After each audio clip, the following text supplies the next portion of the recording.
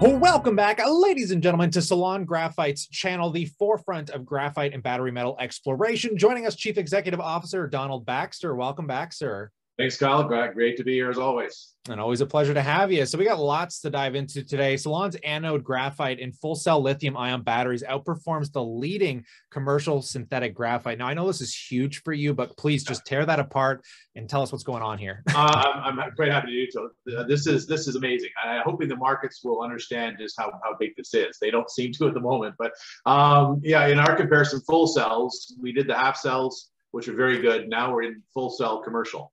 Um, and we're doing it at, at University College London, which is, uh, uh, you know, they're, tied with the Faraday Institute there. They're tied with Britishvolt.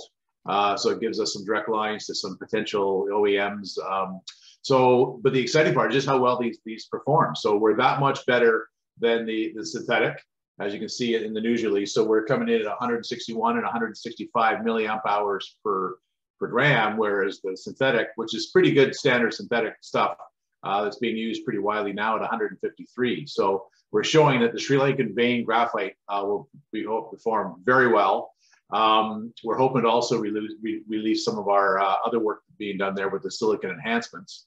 So that's, again, we've got some good news flow coming from that. And I think uh, when people realize just where we're going with this, I think it'll, it'll be, um, you know, it'll be pretty exciting at this point. So uh, that's my goal is to get the attention and focus in the UK as well, because a lot are focused in the EU.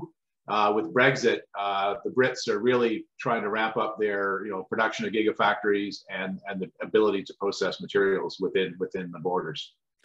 Yeah, and you guys are really localized in a good spot uh, when you really start uh, kind of pushing some of this stuff out. But that's that's incredible news. Uh, let's pivot just a little bit here because you guys did drop some interim uh, financials. I mean, you got four point six million assets, sitting on 740k in cash. I noticed you pushed out some debentures as well. Do you kind of just want to offer some insights here on what's going on with the the capital structure side of things?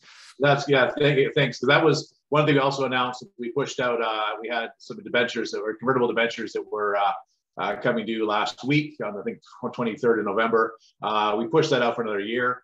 Um, at that point, our share price was below the convert, so uh, we didn't want to have to put out that kind of cash at the point. So I think the markets don't realize that we just pushed out uh, uh, that debt uh, another year and should all convert. Also tied with that were a bunch of warrants for the equal amount, so we should also have the benefit of, of more cash coming in from, from those warrants. So again, uh, that was a good week, uh, avoiding uh, um, you know debt, pushing debt out um, as well as um, announcing the full cell battery. So again, it was I thought quite exciting, but the markets kind of missed it. So hopefully, you know, this kind of uh, interview or whatever will start getting some people to take a second look at those two news releases.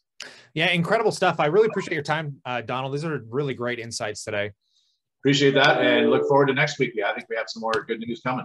Absolutely, folks. And I highly recommend, man, let us know what you think in the comment section below because we can start bringing these up. We got to start doing some investor Q&A here. But in light of that, stay cool, stay awesome, and I'll catch you tomorrow. Well, I'll catch you next week, particularly you. But cheers, guys.